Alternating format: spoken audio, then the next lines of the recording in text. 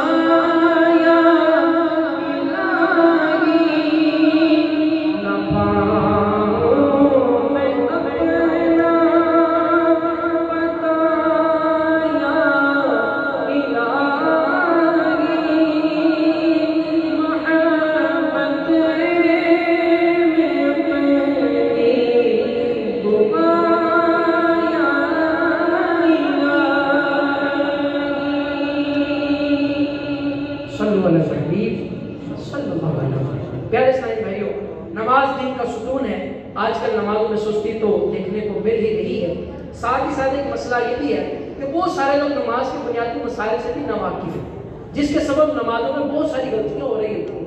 ہم نے پانچ وقت کا پکا سچا نمازی بھی بننا ہے اور نماز سیکھنی بھی ہے۔ اس کے لیے شیخ طریقہ میرے سنت کی کتاب نماز کے احکام، اسلامی بہنوں کی نماز، خواتین کے لیے فیضان نماز پڑھ لیجیے۔ بلکہ زیادہ بہتر یہ ہے کہ سات دن کا فیضان نماز کورس کر لیجیے۔ انشاءاللہ شاء کریم بہت کچھ سیکھنے کو ملے گا۔ فیضان نماز کورس اس کے علاوہ کئی ایسے شارٹ کورسز آن لائن بھی کروائے جاتے ہیں۔ اگر آپ فزیکلی کورس میں شرکت کرنے کا وقت نہیں پاتے تو آن لائن کورس کر لیجیے۔ پیارے اسلام بھائیوں اللہ رسول کو راضی کرنا سب سے اہم کام ہے۔ ہم نے یہ چند احادیث سننے کی سعادت حاصل کی، جن میں فرمایا گیا، جو خوش الہانی سے تلاوت نہیں کرتا، وہ ہم میں سے نہیں۔ جو سنت سے بے رغبتی کرتا ہے، وہ ہم میں سے نہیں۔ اب یہ جو بیان ہو رہا ہے نا، یہ ہے بیان کا خلاصہ۔ جو پیچھے جتنا بیان ہوا نا، احادیث بیان کی گئی، قرآن پاک پڑھا گیا، ترجمہ بیان کیا گیا، تفصیل بیان کی گئی، تشریح بیان کی گئی۔ اب اس کا خلاصہ بیان کیا جا رہا ہے توجہ سے سماعت فرمائیے گا۔ جو خوش الہانی سے تلاوت نہیں کرتا، وہ ہم میں سے نہیں۔ جو سنت سے بے ربی رکھتا ہے، بے رغبتی رکھتا ہے، وہ ہم میں سے نہیں۔ جو مسلمانوں کو دھوکہ دیتا ہے، وہ ہم میں سے نہیں۔ مرد جو عورتوں کی مشابت کرتا ہے اور عورت جو مردوں کی مشابت اختیار کرتی ہے، فرمایا وہ ہم میں سے نہیں۔ جو مسلمان بھائی کے سلام کا جواب نہیں دیتا، وہ ہم میں سے نہیں۔ اور جو پڑوسی کے حقوق ضائع کرتا ہے، وہ ہم میں سے نہیں۔ جو نماز میں کبے کی طرح ٹھونگے مارے یعنی رکوع اور سجدہ پورا نہ کرے، وہ ہم میں سے نہیں۔ یعنی جو بندہ ایسے کام کرتا ہے، رسول نشان، مکی مدنی سلطان صلی اللہ علیہ وسلم، اس سے بیزار ہے۔ الامان والحفیظ اللہ پاک ہمیں رسول نشان صلی اللہ علیہ وسلم کی ناراضگی سے محفوظ فرمائے۔ کاش ہم ہمیشہ اللہ رسول کی رضا والے کاموں میں ہی مصروف رہنے والے بن جائیں۔ میری